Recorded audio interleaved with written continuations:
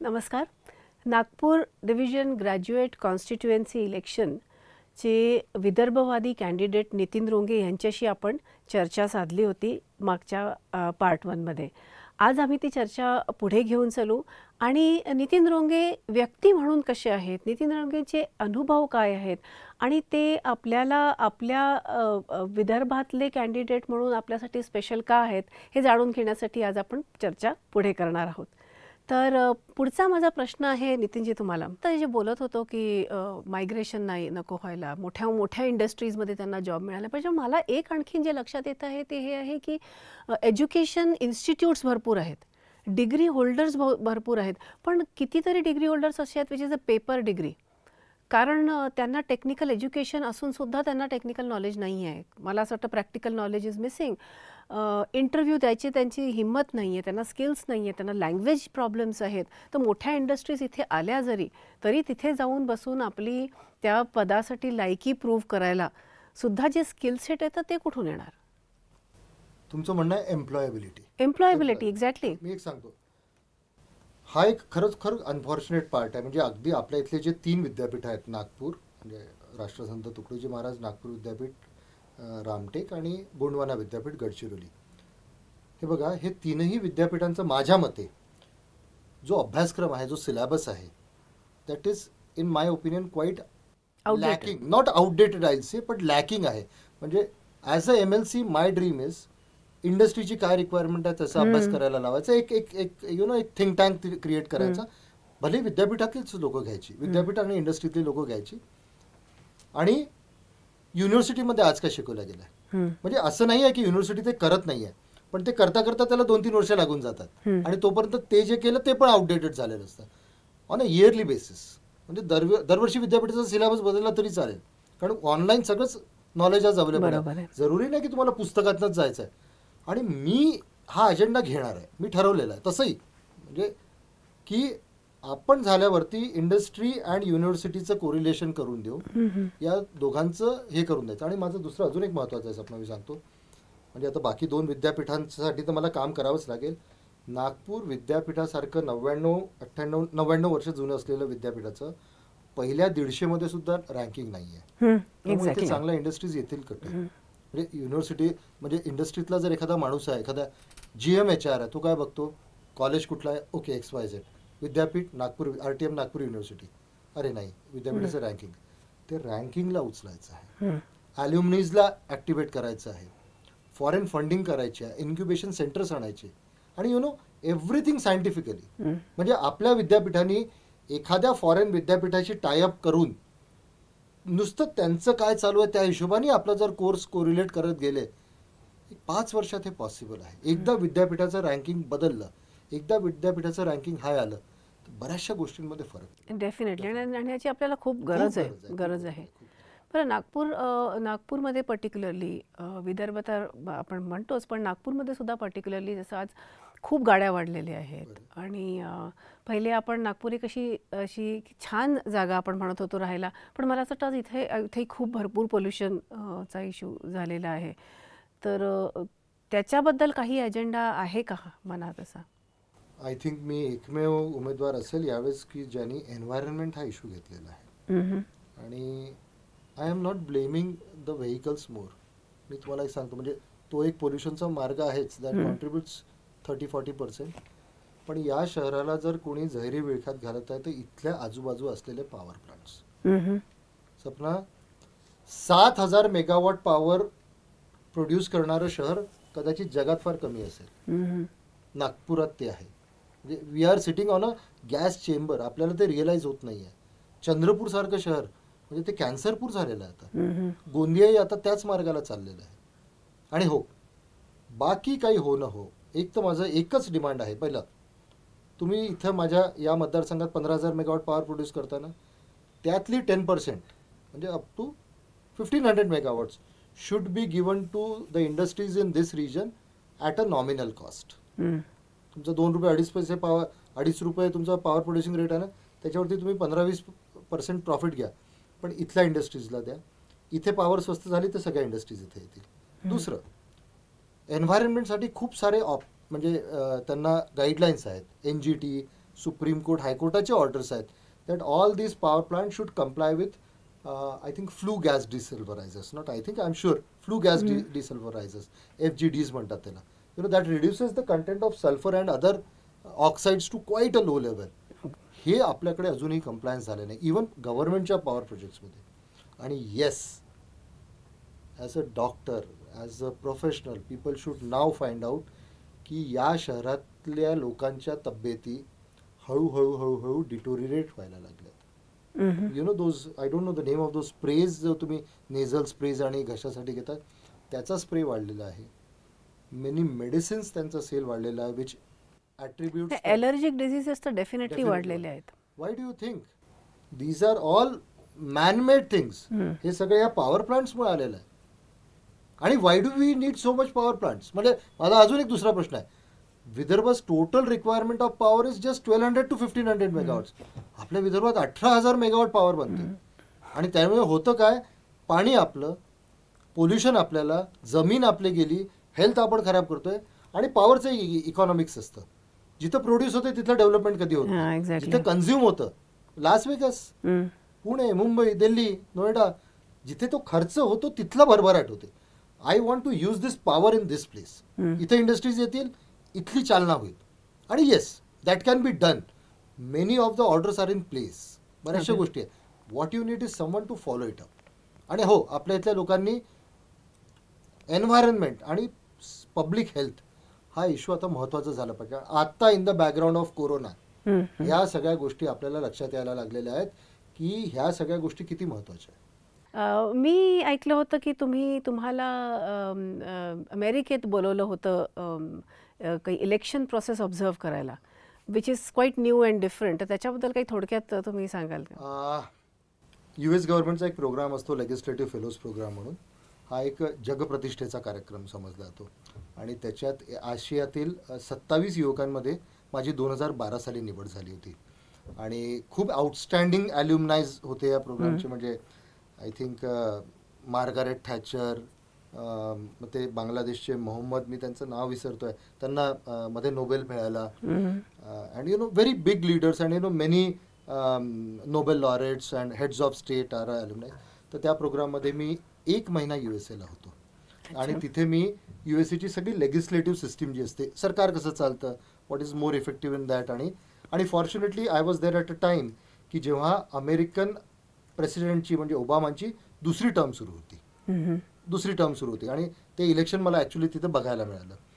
आणि मग थोडंसं आपण एक स्वभावाने चांगलं असतो. वी हॅव गुड फ्रेंड्स आणि मग सो म्हणजे एक चांगलं काम केल्यामुळे दोन हजार सोळामध्ये भारतातनं अजून त्याच प्रोग्रामपैकी दोघा लोकांना. वॉज वी वर इन्व्हायटेड म्हणजे आम्हाला बोलावलं होतं प्रोग्राम ऑब्झर्व करायला. तर दोन हजार सोळाचं प्रेसिडेन्शियल इलेक्शन म्हणजे माननीय ट्रम्प साहेबांचं. दुसरं इलेक्शन मी तिथे स्वतः लाईव्ह बघून आलो. आणि once in a lifetime opportunity होती. खूप चांगला अनुभव होता. आणि मी जसं विदर्भाबद्दल बोलतो तसं मी हे आता लॉकडाऊनच्या काळात बऱ्याच जागी अमेरिकन प्रेसिडेन्शियल इलेक्शन सिस्टीम कशी चालते त्याचं काम कसं असतं याच्याबद्दल मी बरंच काही बोललो. काही असा युनिक एक्सपिरियन्स आहे का तिथला? युनिक एक्सपिरियन्स पहिला एक असा आहे की मला जगभरात दोस्त आहेत. हा सगळीकडे माझ्या प्रत्येक जगात मित्र आहे. आणि माझ्या बऱ्याचशा मित्रांनी माझ्या इलेक्शनसाठी एस्पेशली सार्क कंट्रीजमधले जे जास्ती चांगले फ्रेंड्स झाले त्यांनी माझ्या ह्याच्यावर व्हिडिओज पण टाकले. म्हणजे प्रॉब्ली. मला परदेशी लोक सुद्धा आता माझा प्रचार करायला लागले. आणि एक अनुभव आहे म्हणजे माझ्या एका मित्रांनी श्रीलंकेच्या मित्रांनी तो आता व्हिडिओ टाकला. माझ्या फेसबुकवरच आहे तो त्याने म्हणजे व्हिडिओ बनवून पाठवला आणि आम्ही पोस्ट केला की काय झालं होतं की मी दोन हजार बारामध्ये जेव्हा अमेरिकेला गेलो तेव्हा तिथे आम्ही एका हॉटेलला आम्हाला ठेवण्यात आलं होतं आणि आय थिंक सोमवारपासून प्रोग्राम सुरू होणार होता. आम्ही शनिवारी बारा एक वाजता दोन वाजता तिथे पोहोचलो फ्लाईटने आणि आम्हाला एक इन्फॉर्मेशन बुकलेट देण्यात आलं. The complete program the participants then the city of Washington map हो रेस्टॉरंट्स इंडियन रेस्टॉरंट्स कारण बरेचसे इंडियन्स पाकिस्तानीच होते. आणि in one of the maps एका मॅपमध्ये त्यांनी Kashmir they had shown as a part of Pakistan okay मी ते बघितलं.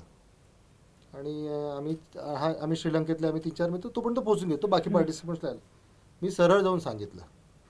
तुम्ही जर हा मॅप ठेवत असाल तर मी सोमवारी स्वतःच्या खर्चाने विमानाची तिकीट काढून परत जाणार. हे कोणाला जाऊन सांगितलं? प्रोग्राम मॅनेजरला. आणि मी मग आम्ही आपलं ते वॉशिंग्टन डी सी वगैरे फिरायला निघून गेलो. जोपर्यंत मी परत रूममध्ये परत आलो तो सगळे सगळ्या खोल्यांमधले मॅप चेंज हो करण्यात सो आणि हा अनुभव माझ्या मित्रांनी फेसबुकवर टाकला. मी हे बघा आपण क्लिअर राहायचं. मला एक गोष्ट लक्षात आली आहे. म्हणजे मी शाळेत असताना अगदी पहिल्या बेंचवर बसायचो. आय वॉज व्हेरी स्टॉल आणि हे ते ते. पण तुम्ही जर एकदा तुमचा पॉईंट मेक करत राहिले ना आणि तुम्ही जर खोटं नसाल ना तर कोणाला घाबरायची खूप गरज नसते. दॅट इज द रिझन मी नेहमी सांगतोय की मी अपक्ष लढतोय. मला पाच पार्ट्यांचं समर्थन आहे. मी अपक्ष कायसाठी उद्या मला कोणाचं प्रेशर नव्हतं की आपल्या पार्टीची अशी इच्छा तर तू असं कर. नाही. मला बी टी देशमुख सर जे अमरावतीचे होते त्यांचं मला हे आहे की बा आपण जर अपक्ष असलो आपण आपल्या प्रत्येकाची प्रत्येक नागरिकाची बाजू व्यवस्थित मांडू शकतो. आणि मग तुम्हाला कोणाचं दबेल राहायची गरज नाही. So that is my agenda and I believe in that जे आहे ते बोलून मोकळं होऊन जायचं जे होईल ते होईल. बस. व्हेरी इंटरेस्टिंग एक्सपिरियन्स मला असं वाटतं की यांनी आपण कुठे ना कुठे आपल्या यंग यंगस्टर्सला हे करू शकतो आपण मोटिवेट करू शकतो की जगात काय काय होतं. असा नुसता प्रोग्रामसुद्धा एक कोणी पण यूथ जाऊन जर पाहू शकला तर त्या तो आपल्या आयुष्यात बरंच काही करू शकतो मोटिवेशन असल्यामुळे. मीडियामध्ये मी मी वाचलेलं आहे तुमच्याकडे तुमच्याबद्दल लिहिताना एक ऑर्डिनरी विदर्भवादी एक सर्वसामान्य विदर्भवादी. याचा अर्थ काय आणि why do you call yourself सर्वसामान्य विदर्भवादी? नाही ते एकदा कोणीतरी मला सर्वसामान्य विदर्भवादी म्हटलं आणि सपना मी खरोखरच एक सर्वसामान्य विदर्भवादी. म्हणजे मी कधीच असं म्हणत नाही की मी लहानपणी खूप गरिबीतून गेलो मी चहा विकला मी संघर्ष केला. एक नॉर्मल म्हणजे एक तीन खोल्यांच्या घरात मी राहिलो. वडील स्ट्रिक्ट होते. आईवडिलांनी फार लक्ष दिलं. व्यवस्थित अभ्यास केला आणि मी खरं सांगतो अभ्यासात मी काही खूप हुशार आउटस्टँडिंग वगैरे नव्हतो. म्हणजे कॉप्या बिप्या केलेल्या आहेत मी थोड्या बहुत. Fill in the blanks match the pair वगैरे बघितलेल्या आहेत. आणि मग ते सायकलनी जाऊन सिनेमे बघणं. म्हणजे मी अगदी तेजाब कयामत से कयामत तक आशिकी वगैरे पाच पाच वेळा पाहणारा माणूस आहे. म्हणजे दोज वर द डेज आणि मी मी वाढलो पण खूप वेगळ्या वातावरणात ना. मला वाटतं मी दहावीत असताना कयामत से कयामत तक रिलीज झाला. नववीत असताना. मग दहावीत असताना तेजाब. अकरावीत असताना मैंने प्यार किया. बारावीत असताना आशिकी. म्हणून मी म्हणतो मला थोडे कमी मार्क ह्याच्याचमुळे मिळाले की संस्कार सगळे बाजू कारण हे व्यवस्थित लक्षात आहे. कोणत्या वर्षी कोणता हो, सिनेमा हो. रिलीज झाला. आणि मग व्यवस्थित अकरावी दहावीपर्यंत बऱ्यापैकी मार्क मग अकरावी बारावी व्यवस्थित ट्युशन्सला जाणे सगळे कामं करणे कॉलेजला जाण्या मारून सिनेमा बघणे मग इंजिनिअरिंगमध्ये पण तेच नेहमीच्या मस्त्या मारामाऱ्या आहेत ते. ते आणि देन माझा प्रवास एक सामान्य लोकांसारखाच झाला ना. मग इंजिनिअरिंग झालं मग घ्या बॅग हाऊसला पुण्याला जा. बॅग हाऊसला मुंबईला जा. मग तिथलं काही नाही झालं तर परत या. मग इथे संघर्ष करा. आपली लहानशी कंपनी सुरू करा. बाकी जागी कामं करा. सो एक गोष्ट आहे की जर माझ्यासारखा माणूस आज या विचारापर्यंत आलेला आहे की ठीक आहे मी एक विधान परिषदेची निवडणूक लढतो आहे विदर्भाच्या मुद्द्यावर लढतो आहे ग्रॅज्युएट्स म्हणून लढतो आहे तर माझं सगळ्यांना सांगणं आहे. आणि no no this might inspire other people की हाही काही आउटस्टँडिंग नाही आहे माझ्याकडे काही फॅमिली लेगेसी नाही. आणि आउटस्टँडिंगपेक्षा पण मला असं वाटतं की आपण जेव्हा इलेक्शन लढण्याच्या बद्दल बोलतो तर हे फार महत्वाचं आहे की you don't belong to a political family not at all. Backing background आणि. खूप पैसा नाही नाही नाही, अजिबात हे नाही मी तुम्हाला सांगतो माझ्या शाळेतली माझ्या इंजिनिअरिंगच्या वर्गातली म्हणजे माझ्या शाळेतली माझ्या इंजिनिअरिंगच्या वर्गातली माझी सगळी मित्रमंडळी हे ते they are crowd funding me for this election. म्हणजे मी झोपलो असतो आणि रात्री दोन अडीच वाजता कधीतरी टुणकण वाजता कोणीतरी दोन हजार पाच हजार. म्हणजे people have contributed money to my election and I am telling you that keeps me going सहा जिल्ह्याचं इलेक्शन आहे. प्रत्येक जिल्ह्यात जाऊन आलो रात्री असा दीड एक दीड वाजता मी येतो थकलेला असतो. पण एखादा मित्र मेसेज पाठवतो नाही तू करतोय चांगला करतोय. नाही मला जे न्यूज न्यूज मीडियामध्ये वाचण्यात येतं आहे मला असं वाटतं की हे जे सहा जिल्ह्याचं ट्रॅव्हल आहे हे फक्त आता इलेक्शनसाठी नाही आहे आधी पण हो जाऊन मी मी मी महाविदर्भ. जनजागरण करत असताना मी सगळ्या विदर्भातल्या सगळ्या तालुक्यांमध्ये जाऊन शाळा शाळामध्ये शाळा तर नाही कॉलेजेसमध्ये किंवा सिव्हिल सोसायटीजच्या प्लॅटफॉर्मवर मी विदर्भाबद्दल अवेअरनेस आणलेला आहे. आणि येस त्याचा मला आता फायदा व्हायला लागला आहे लोक माझ्याशी कोरिलेट करायला लागले. आहे मी आता नुसतं भाषणातही सांगतो ना तरी लोक ऐकायला लागले की नाही? मला असं वाटतं की इथे मी मला जास्ती कनेक्शन वाटतं याच्याबद्दल की एक व्यक्ती जो एक काही कारण नसताना म्हणजे एक व्यक्ती जो आपला बिझनेस करतो आहे आपली फॅमिली आहे काही कारण नसताना छोट्या छोट्या जागेंमध्ये जाऊन जिथे खूप कम्फर्टेबल लिव्हिंग कंडिशन्स नाही आहेत ट्रॅव्हल कंडिशन्स नाही आहेत अशा जागे जाऊन सुद्धा बरेच दिवसापासून काम करतो आहे. जो व्यक्ती मला असं वाटतं की मी जास्ती कनेक्ट करू शकते. सुरुवातीला मी एक वाक्य बोलली होती की आम्हाला पॉलिटिशियन नको आहे. आम्हाला आम्हाला समजणारा व्यक्ती हवा आहे. आणि मला असं वाटतं त्याच्यात नितीन रोंगे फिट बसतात. तेही आहे आणि मी अजून एक गोष्ट सांगतो की यु नो आपण नेहमी महापुरुषांबद्दल वाचतो. आपल्याकडे मोठे मोठे कोट्स असतात. त्यांचे मोठे मोठाले पुतळे उभे करतो आपण. बट आय टेल यू मी जनजागरण सुरू केलं ना आणि त्यावेळी मला कुणाचाही सपोर्ट नव्हता. आज पाच वर्षापूर्वी. की एक पॉवर पॉईंट प्रेझेंटेशन घ्यायचं आणि गावात जाऊन लोकांना दाखवायचं की. विदर्भावरती कसा अन्याय होतोय. सो समवन आस्ट मी की what is this why are you doing this तर माय आयडिया अबाउट इज आणि हे इलेक्शन पण त्याचं एक्सटेन्शन आहे. की Gandhiji said once that my idea of democracy is की that the weaker of the weakest. मी कदाचित तो विदर्भातला माणूस असेल असेल. Should have the equal opportunity as the strongest so that was his idea of democracy Babasaheb आंबेडकरांनी म्हटलं होतं की कुणावरती जर अन्याय होत असेल तर त्याला त्या अन्यायाची जाणीव करून द्या. म्हणजे तो बंड करून उठेल. मग आपल्याला हे गोष्टी फक्त पुस्तकात ठेवायच्या नाही ती महापुरुष ती गोष्टी सांगून गेली. मी त्यातल्या त्या दोन गोष्टी उचलल्या. आय कांट म्हणजे मी समग्र गांधीइझम आय कांट ॲडॅप्ट. मी कंप्लीट आंबेडकर कधीच समजूच नाही शकणार. म्हणजे ते इतकं मोठं आहे. पण त्यांनी ह्या त्या दोघांनी सांगितलेल्या ह्या दोन गोष्टी घेतल्या आणि I started doing my work आणि अजून एक असतं याच्यात की माझे जे आणि मला ना खूप रिअल लाईफ इन्स्पिरेशन्समधून मी घेत असतो. रिअल लाईफ इन्स्पिरेशन्स म्हणजे आपल्या इथले रामभाऊ इंगोले नागपुरातले सिंधुताई सपकाळ शंकर बाबा पापळकर अगदी आमचे भाऊसाहेब भोगे डॉक्टर भाऊसाहेब भोगे. म्हणजे ही ही लोक झिजली म्हणून कितीतरी लोकांचे आयुष्य बदलले.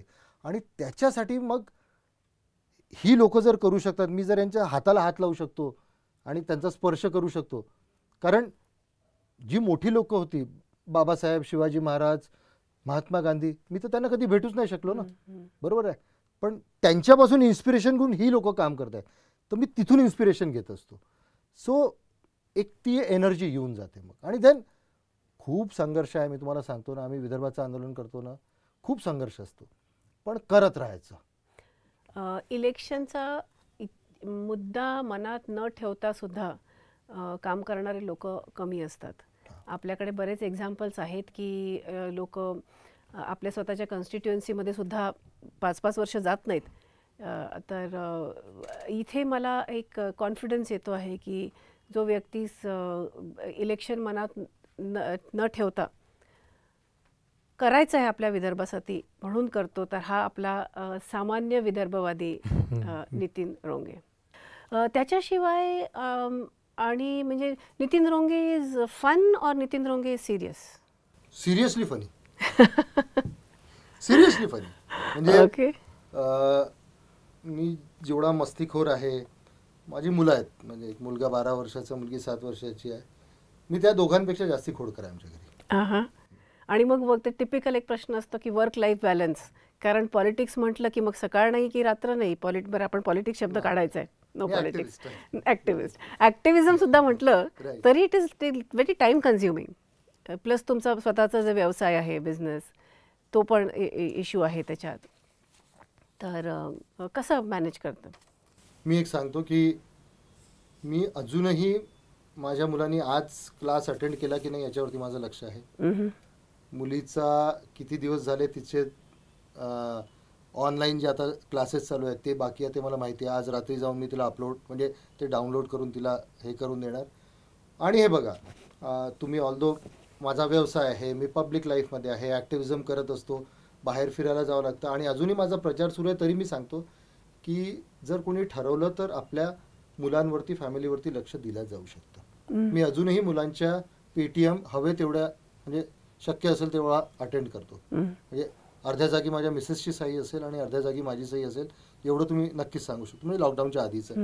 आणि असं काही नसतं. आणि हो अं, मी उशिरा परत गेलो तर मुलांना झोपेतून उठवतो. मस्ती करतो आम्ही एक दीड तास. मग तेही झोपायला जातात. मग मी झोपतो. आणि होतं हे सगळं करता येतं. म्हणजे. मी खूपच बिझी आहे. हा मग कोणी ठरवलं की नाहीच मी वेळ देऊ शकत तर मग कशालाच वेळ नाही देऊ शकत. मी गाणे पण भरपूर ऐकतो. मी मित्रांशी पण भरपूर बोलतो. आणि हो मी माझ्या ग्रुप्समध्ये पण तेवढा ॲक्टिव्ह असतो. मी माझ्या राजकारणी मित्रांशी असतो. हे बघा करावं लागतं. म्हणजे असं काही नाही आहे. माझ्याकडे वेळ नाही आहे वगैरे वगैरे हे असं नसतं. वेळ काढावा लागतो. मी गाणे पण भरपूर ऐकतो. सर आपण एक्सपेक्ट करू शकतो की जसं तुम्ही आपल्या मुलांकडे पाहताय आज की पर्सनली लक्ष देऊन you are going to win आपण त्याच्यावरती चाललोय तुम्ही जिंकणार.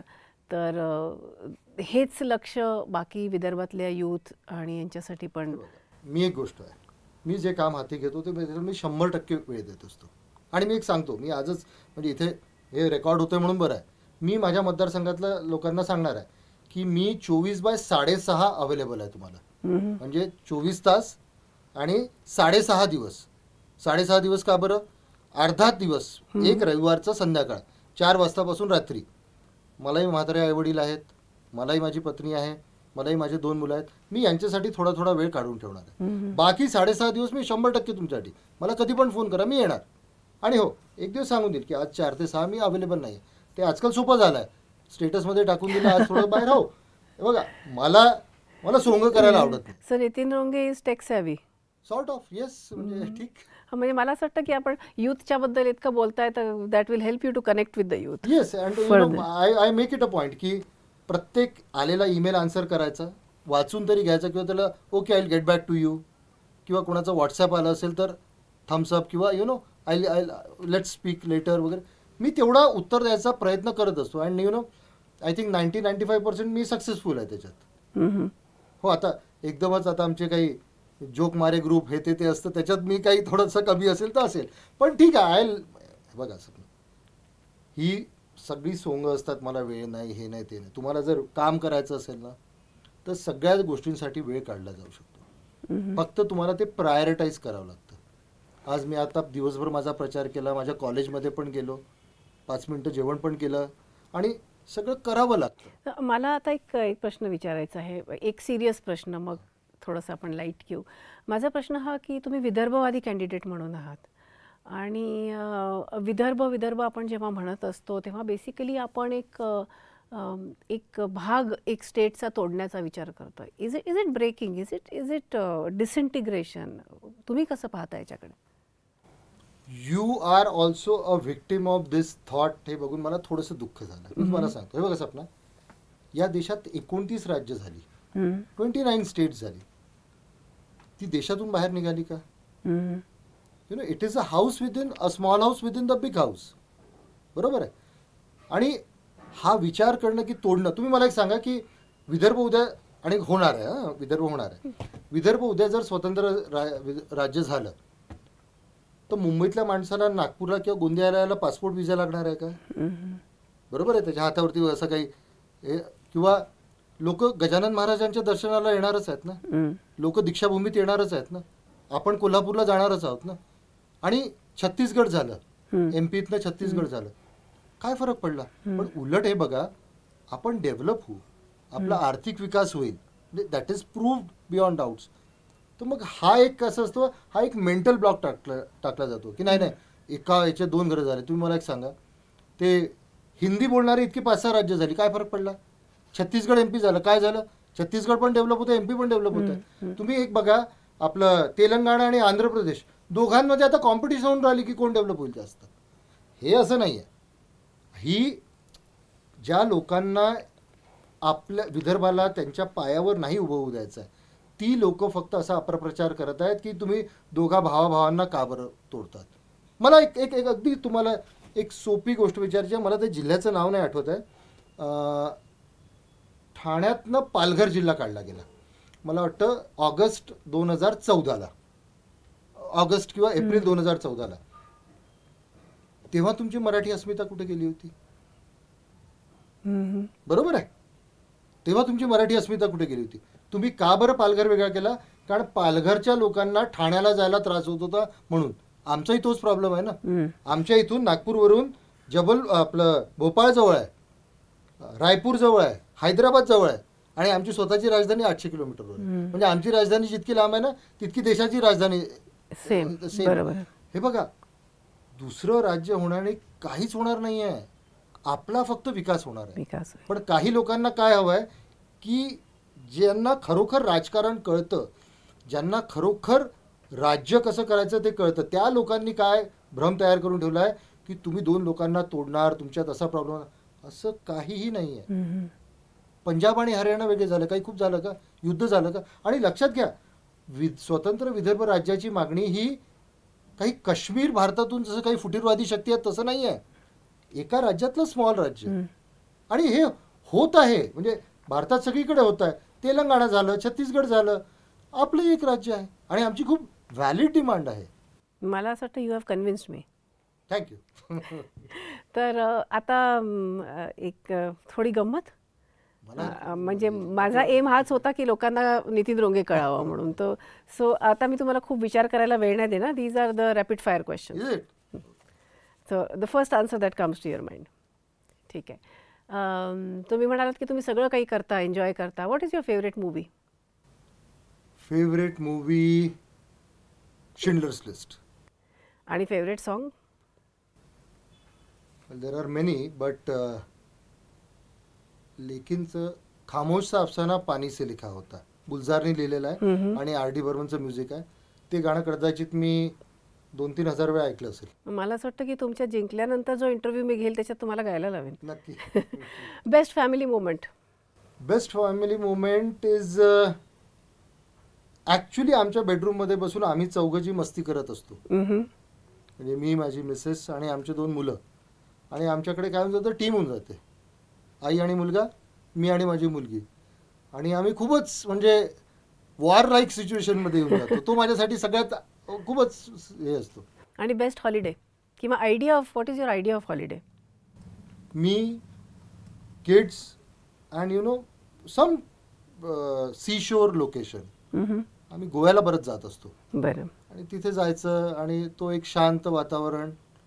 हे माझं म्हणजे हे आहे. That's my idea of a very good okay last question in rapid fire पण ह्याचं उत्तर एकदम ताबडतोब द्यायचं. Tell us something which we don't know about you आम्हाला ते तुमच्याबद्दल माहीत नाही असं काय? आहे मी आत्ताच तुम्हाला सांगितलं पण परत एकदा रिपीट करतो. मला खायचा भयंकर शौक आहे. मला खायचा भयंकर शौक आहे. म्हणजे असंच नाही की फक्त हॉटेलला जाऊन खायचं. म्हणजे माझे अनेक मित्र मैत्रिणी त्यांच्या आई काय काय चांगलं बनवतात हे मला माहिती असतं. म्हणजे हे माझ्या एका मित्राची आई ती पुडाची वडी म्हणजे सांबार वडी खूप चांगली बनवते. तर मी डिसेंबरमध्ये त्यांच्याकडे गेलोच पाहिजे. आणि मी एक क्लिअर आहे. मी ना त्यांना फोन करतो. काकू मी आज येणार आहे. तुम्ही करता का? त्या पण नाही नाही म्हणू शकत पण मी करतो. आणि I love to have food आणि मला असं वाटतं की तुम्हाला लोकांना जेव घालायलाही आनंद वाटत असेल तर सो तुमच्या जिंकण्याची पार्टी आम्ही तुमच्याकडून घेणार. घेणार नक्की. आणि हे जे नितीन रोंगे आहेत हे पॉलिटिशियन नाही आहेत मला असं वाटतं ही एक व्यक्ती आहे जी खरंच विदर्भावरती प्रेम करते आणि वर्षांपासून बऱ्याच वर्षांपासून ह्या याचा वि प्रयत्न करते आहे की काहीतरी आपल्या लोकांसाठी आपल्या जागेसाठी चांगलं व्हावं म्हणून आणि आम्ही हे एक्सपेक्ट करतो की नितीन रोंगे जिंकून येणार आणि पॉलिटिशियन बनणार नाहीत. ते नितीन रोंगे नितीन रोंगेच राहतील ॲक्टिव्हिस्ट राहतील विदर्भवादी राहतील आणि आमचे राहतील. So, wish you all the best Nitin and thank you so much. Thank, thank you, you so much.